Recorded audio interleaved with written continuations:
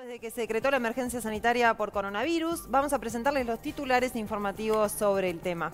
Según el último relevamiento del Ministerio de Salud Pública, hay 79 casos confirmados de personas con coronavirus. La mayoría de los casos son asintomáticos o con síntomas leves y dos personas que estaban internadas ya fueron dadas de alta. En el caso del territorio se sumaron nuevos departamentos con casos confirmados. Además de Montevideo, Maldonado y Salto, también hay en Canelones y en Colonia. Además, hay 392 personas sospechosas de tener coronavirus porque tienen síntomas, porque tuvieron contacto cercano con un caso confirmado o porque viajaron a algunos de los lugares de riesgo. El coronavirus ha dejado varadas a personas fuera de su país de origen. Esto es algo que sucede a nivel mundial. Por esa razón, los mandatarios del país, de los países del Mercosur acordaron buscar una solución para que puedan retornar. Es así que la Cancillería uruguaya organizó al menos dos vuelos para repatriar a los uruguayos varados en Perú. luego de que cerraran las fronteras en ese país. Un avión traerá 90 personas que se encuentran en Cusco y otros 34 eh, que están en Lima. El gobierno pide que los uruguayos que están varados en el exterior se contacten con los consulados en el país donde están. Por otro lado, se llegó a un acuerdo entre el ZUNCA y la Cámara de Empresarios de la Construcción eh, a acordar una licencia especial por coronavirus. Eh, este, esto se hizo tripartitamente porque incluye también al Ministerio de Trabajo y Seguridad Social y eh, en, lo que es concretamente es que los trabajadores que se encuentran de alta en el BPS, o sea, los trabajadores que están como trabajadores en este momento, recibirán una partida extraordinaria de 16.506 pesos, si este acuerdo es aceptado por el gobierno que se encuentra analizándolo. Supuestamente estaban los tres medio en, esta reunión en la que se definió esto, así que eh, asumo que lo va a aceptar el gobierno, o sea, no me parece que, Muy vaya a poner no, es una medida descabellada, había cuenta del momento que estamos pasando, ¿no? Bueno, les queremos decir que eh, se fumigó la eh, totalidad del Palacio Legislativo. El Parlamento implementó, por supuesto, el teletrabajo y hay una guardia mínima.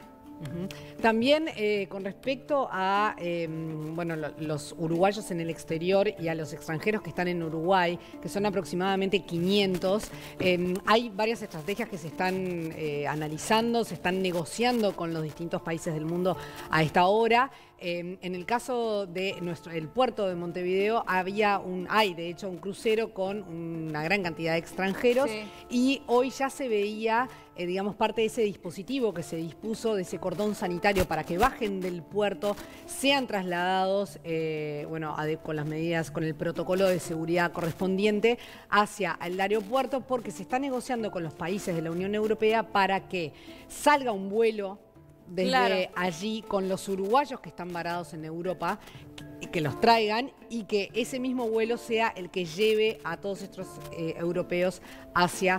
Una especie de eh, trueque, solidario se está dando, Creo que algo así habíamos comentado en el día de ayer, sí, algo así.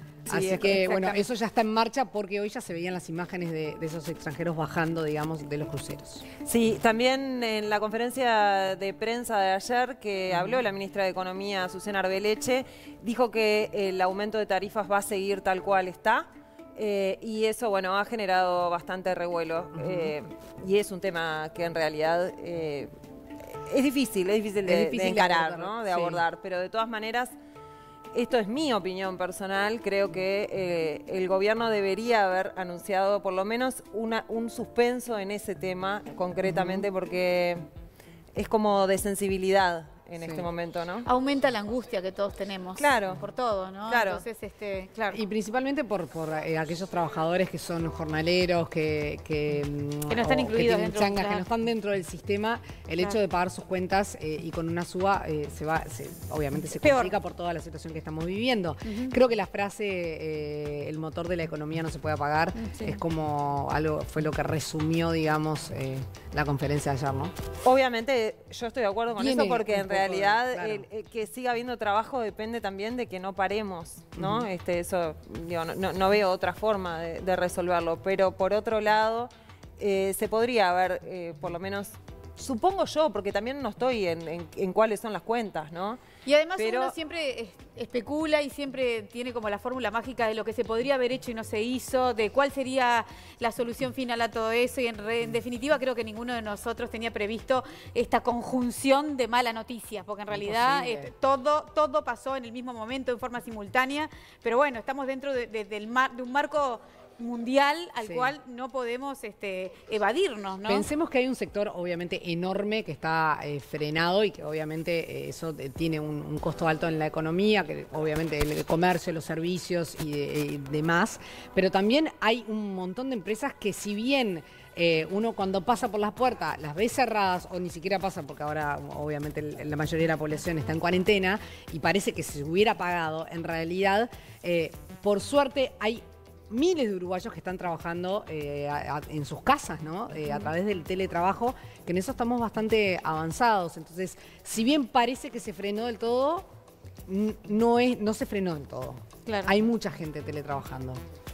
Y, también es interesante que eh, la situación que está viendo China.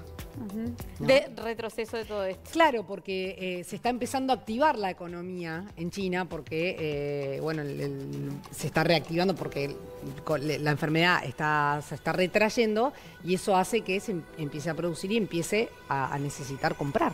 También. Y eso, no, eso, puede ayudar. Es beneficioso en este momento para nosotros.